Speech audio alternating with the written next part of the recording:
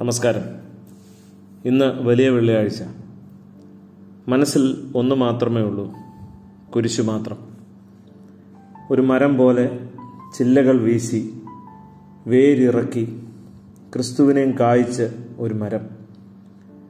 കാണാനും പറയാനുമൊക്കെ നല്ലതാണ്. പക്ഷേ കുരിശാവുക എന്നാലോ? സംഗതി അത്ര സുഖകരമല്ല. നമ്മൾ ആരെയാണ് കുരിശെന്ന് വിളിക്കുന്നത്?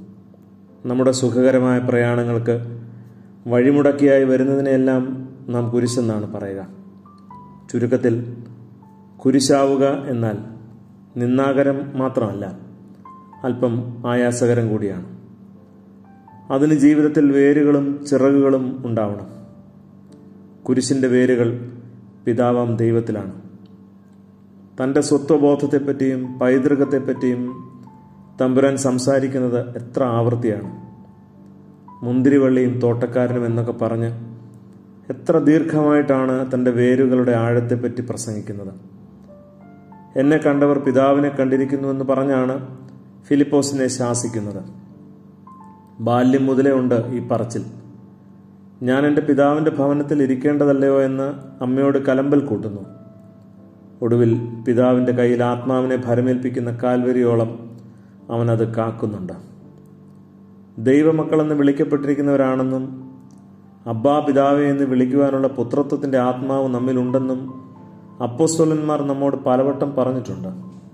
എങ്കിലും ചിലപ്പോൾ ദസ്തേവ്സ്കിയുടെ ഭാഷയിൽ ചെകുത്താന്റെ ജാരസന്ധ്യതകളെന്ന് തോന്നും വിധമാണ് നമ്മുടെ പ്രവൃത്തികൾ ദൈവത്തെ മറന്ന് ഇങ്ങനെ മുന്നോട്ട് പോയാൽ എന്നാണ് സുഹൃത്തെ നമ്മളൊരു കുരിശാവുന്നതും അതിൽ ക്രിസ്തു പൂവിടുന്നതും. ഇനി കുരിശിന്റെ ചില്ലകളെ നോക്കുക. അതിന്റെ വിരിവും വിശാലതയും നമ്മുടെ സ്വപ്നങ്ങളുടെ സങ്കുചിതത്വത്തെ നോക്കി ചിരിക്കുന്നുണ്ട്. നമ്മുടെ കണക്കുകൂട്ടലുകളെ തെറ്റിക്കുന്നുമുണ്ട്. സുരേന്ദ്രന്റെ ഒരു കഥയുണ്ട്. ഭൂതഭാവം.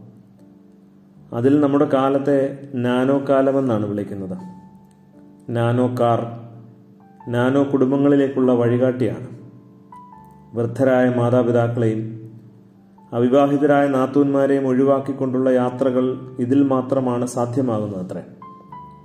ശരിക്കും നമ്മുടെ അവഗണനകൾക്ക് മുന്നിലാണ് ദൈവസ്നേഹം വീണ്ടും വീണ്ടും കുരിശിക്കപ്പെടുന്നത്. ഈ വെള്ളിയാഴ്ച നമ്മുടെ സ്നേഹം ഇനിയുമേറെ കൂടാനുള്ള ദിവസം തന്നെയാണ് സുഹൃത്തെ. ഇനി കുരിശിന്റെ ശിരസിലേക്ക് നോക്കുക. അവിടെ കാത്തുവച്ചിരിക്കുന്നത് ഒരു മുൾക്കിരീടമാണ്. എങ്കിലും മുന്നോട്ട് തന്നെ പോകണം. എന്റെ സുരക്ഷിത സ്ഥലങ്ങളിൽ നിന്ന് ഒന്നെണീക്കാതെ എത്ര കാലം ഞാനിങ്ങനെ ഭീരുവായി കഴിയും എന്റെ ദൈവമേ. ആവശ്യമുള്ളപ്പോൾ ലഭിക്കാതെ പോകുന്ന സ്നേഹം നൊമ്പരപ്പെടുത്താത്തത് ആരെയാണ്? കാൽവറിയിലെ ഇലച്ചാർത്തില്ലാത്ത ഒറ്റ മരം മനുഷ്യപുത്രന്റെ യൗവനത്തിന്റെതാണ് തണലില്ലാത്ത ഒരു മരം ഉറവകൾ അടഞ്ഞുപോയ ഒരു കുന്നിന്റെ മേൽ. ഇത് എല്ലാ മനുഷ്യപുത്രന്മാരുടെയും ജീവിതത്തിൽ ഒഴിച്ചുകൂടാനാവാത്തതാവും. ചോരയുടെ മണമുള്ളൊരു മരം. എവിടെയാണ് സമാധാനം?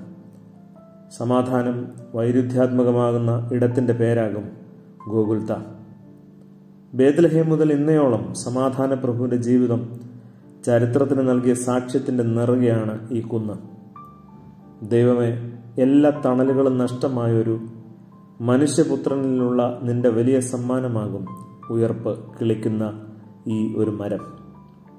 സമാധാനം പൂവിടുന്ന കുരിശുമരം ഞങ്ങൾ എന്തേ ഇനിയും വൈകുന്നത്? നിന്റെ ഹിതത്തെ ഇഷ്ടപ്പെടുന്നതിന് ഇനിയും ഇനിയും താമസിക്കുന്നതിനെ ചൊല്ലിയാണ് ഉള്ളിലെ ഭാരം മുഴുവനും. നമസ്കാരം.